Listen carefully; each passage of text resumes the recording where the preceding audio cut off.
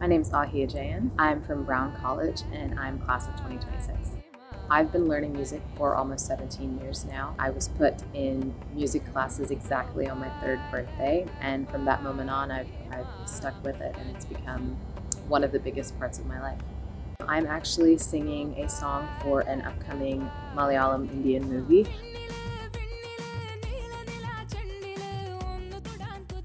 The name of the movie is Ayisha, and I have sung the song for the dance sequence in that movie in the studio in that moment, I knew that this was something that I wanted to do for the rest of my life and that I've never felt this special about anything else in my life than that moment.